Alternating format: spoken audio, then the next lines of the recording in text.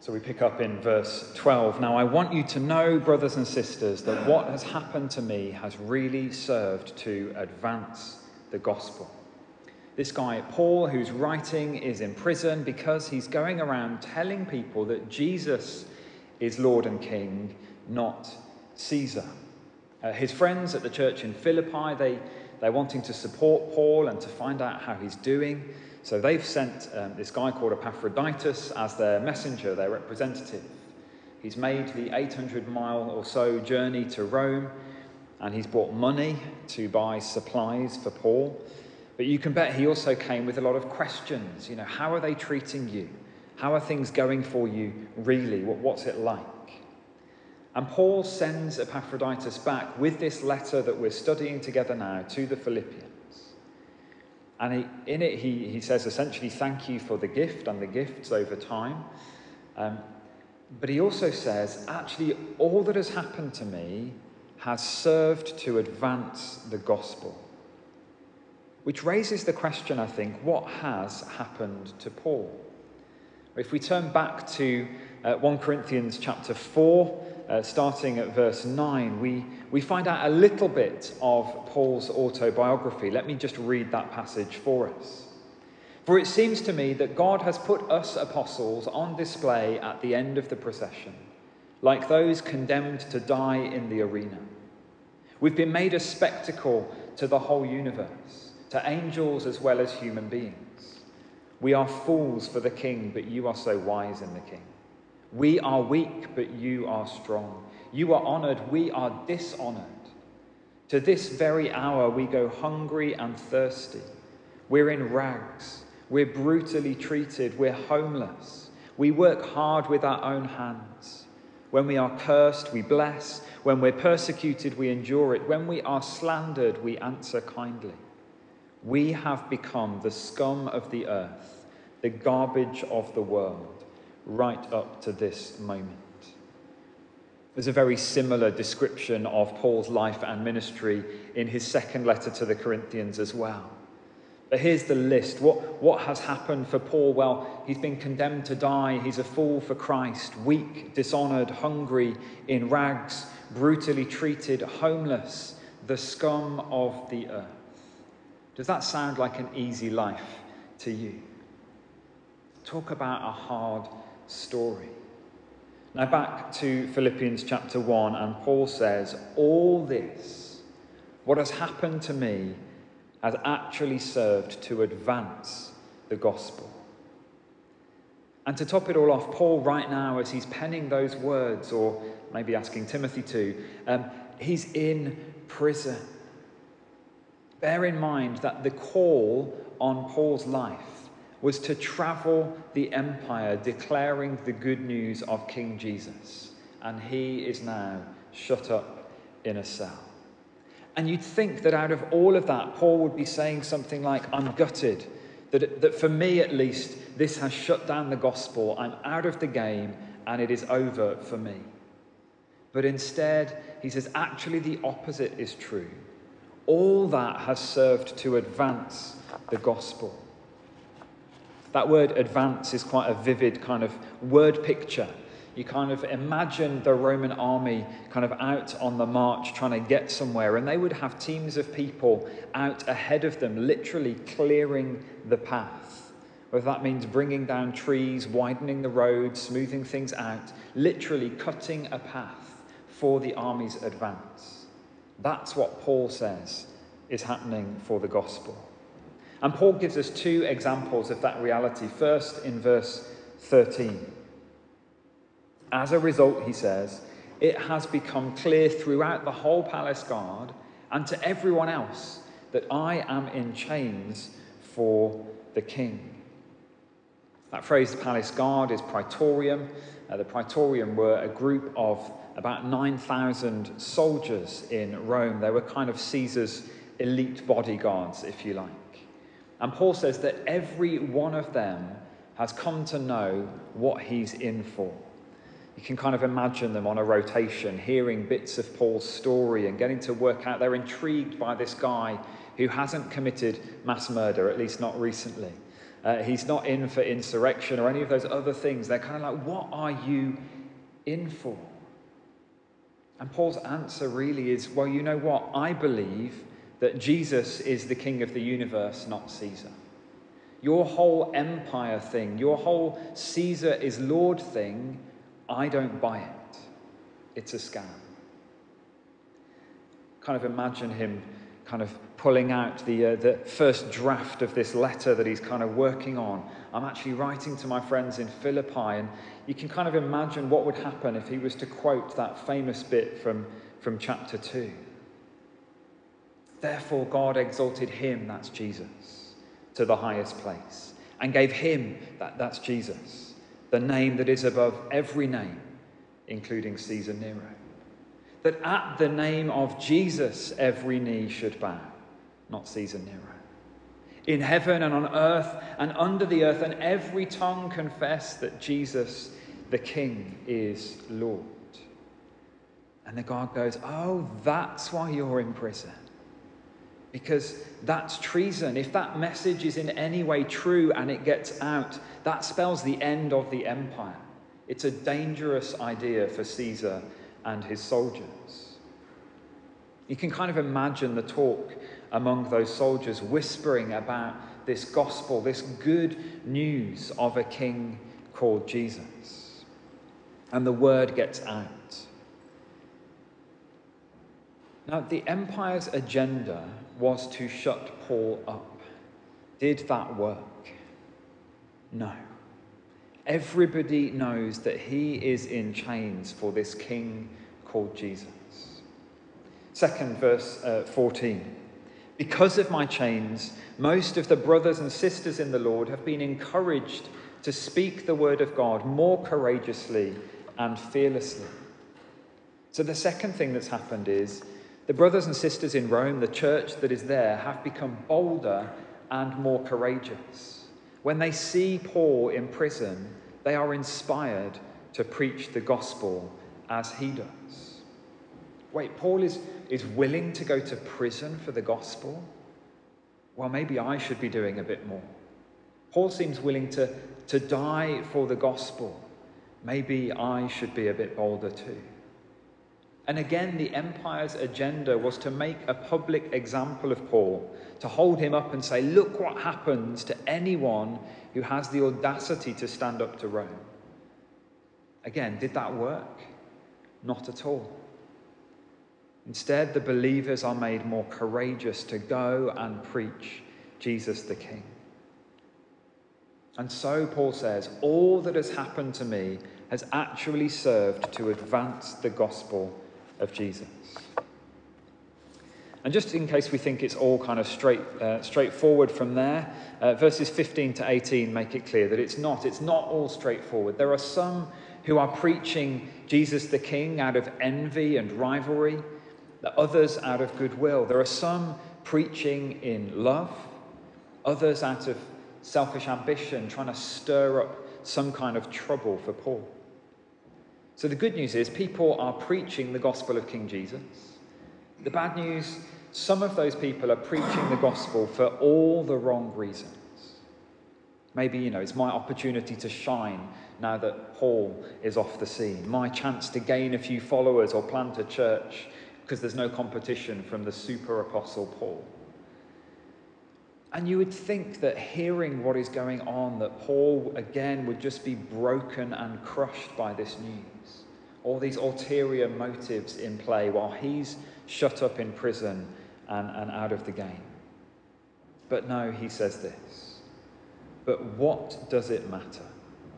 The important thing is that in every way, whether from false motives or true, the King is preached, and because of this, I rejoice.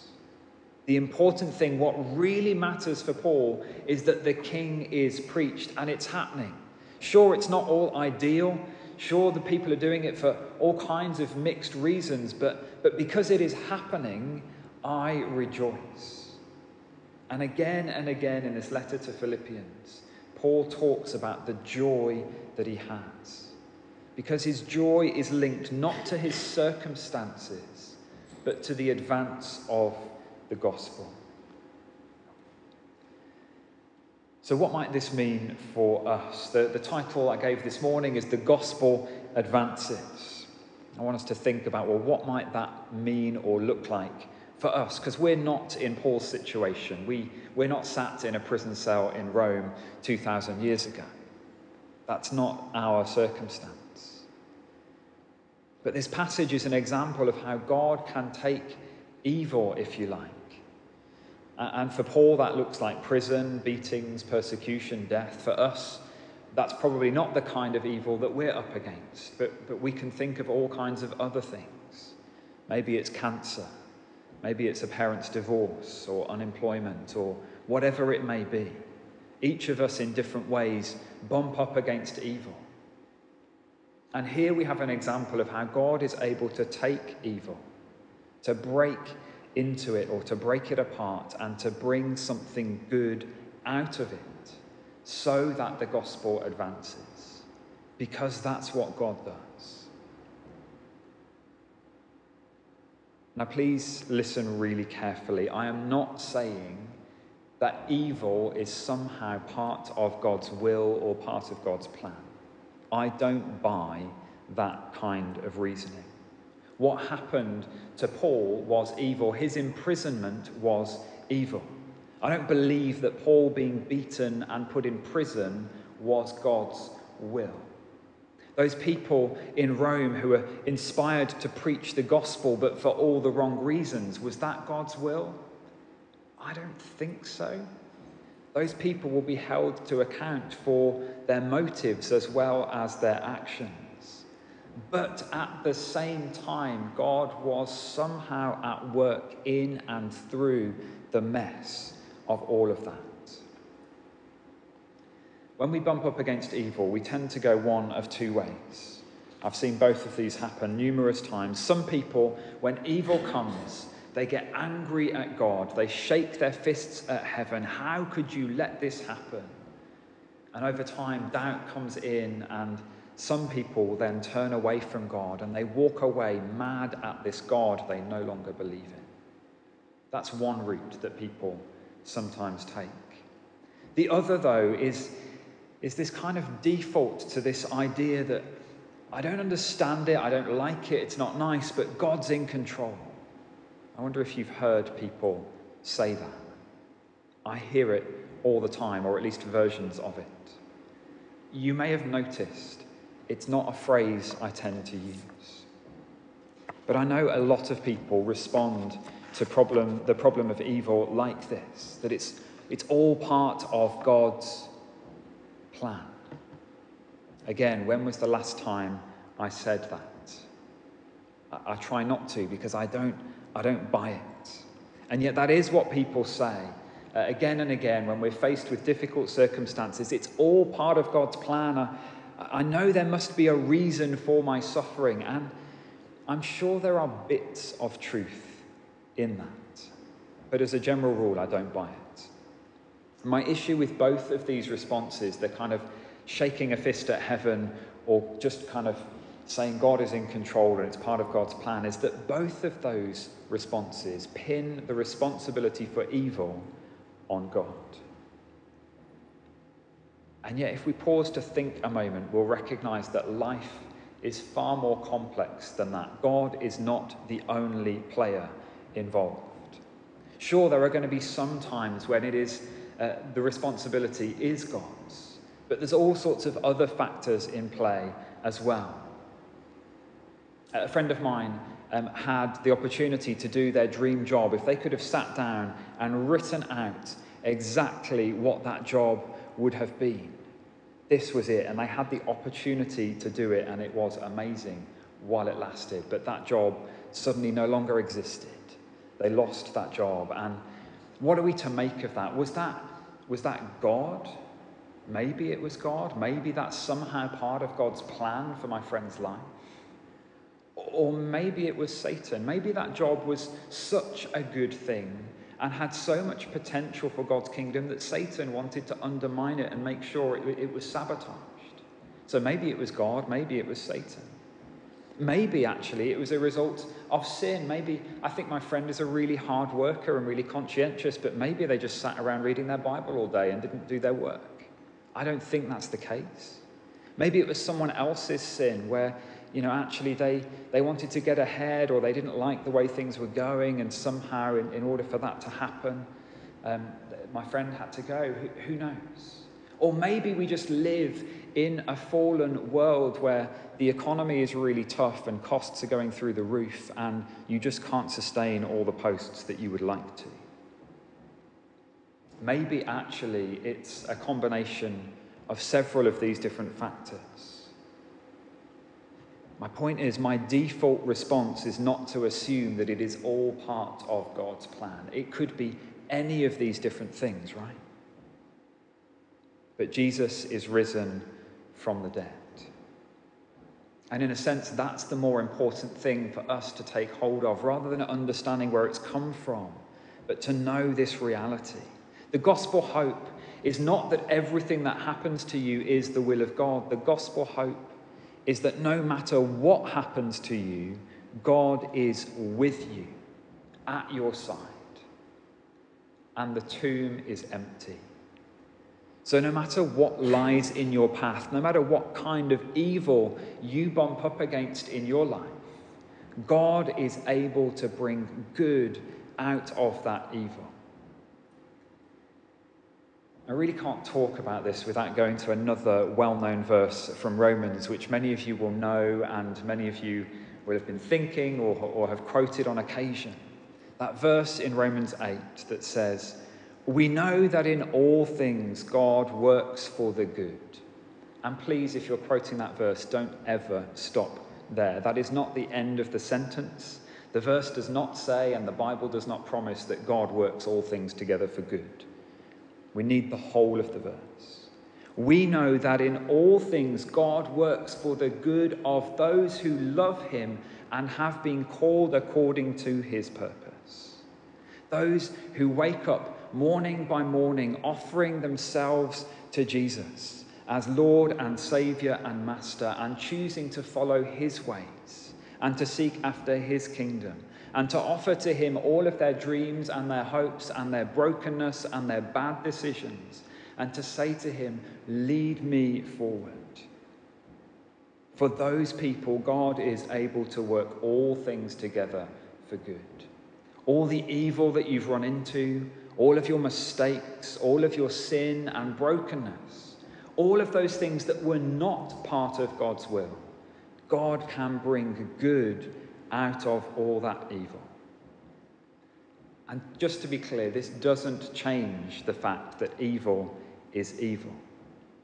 Abuse is evil, even if God can bring something good out of it. Divorce, pain, death those things are evil, even if God can bring some good things out of them. But we worship a God who is able to take the evil we come up against, that was not his plan, not his heart, not his purpose for our lives, to break into that and to bring out something good. But here's the thing, in case you've heard this all before. When Paul says that God can work things together for good, I don't think he's talking about our happiness. I think if we look back to Philippians chapter 1, that Paul might define good as the advance of the gospel. When I think about God working for good, I think about how God can bring me happiness in my mess. But for Paul, it's about how God can work in our mess to advance the gospel. Keep in mind that this first chapter of Philippians is, is basically Paul's answer to the question, How are you?